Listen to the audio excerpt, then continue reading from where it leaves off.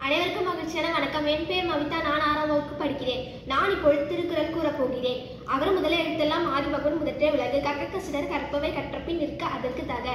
எண் என்ப ஏனை எழுத்தென்ப இவ்விரண்டும் கண்ணென்ப வாழும் உயிர்க்கு. ஓப்ப தலை குட்டி உள்ள பெறுதல் அனைத்த புலவர் தொழு.